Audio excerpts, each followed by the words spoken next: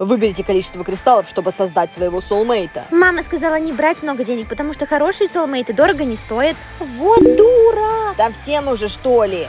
Мамочка, я выбрала вот такую кучку Что кристалликов. ты все перепутал? Я же тебе сказала, что хорошие соулмейты стоят огромных И денег. я просто думала, что ты имела в виду наоборот. Кем будет ваш soulmate? Ого, мама, мне хватает на ангела. И Если бы ты послушала меня и взяла больше денег, то хватило бы на Джина, Ная.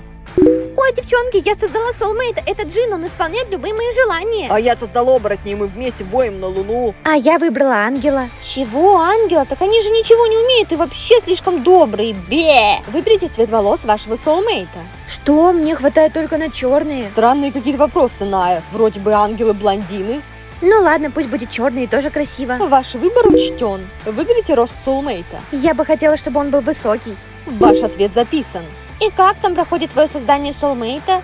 Если честно, как-то странно, Кэти, какой-то странный ангел Да получается. все ангелы такие, от них толку никакого. Вот я выбрала демона, так он вообще того самого. Выберите цвет глаз вашего соулмейта. Я хочу, чтобы у моего соулмейта были голубые глаза. Что такое, Ная? Но мне хватает только на красные. Господи, выбирай уже то, на что хватает тебе денег. Ладно. Это был ваш последний выбор, ваш soulmate готов. Чтобы увидеть своего soulmate, нажмите на кнопку. Хорошо, я готова. Загрузка имени soulmate. Soulmate загружен. Нет, нет, нет, только не это.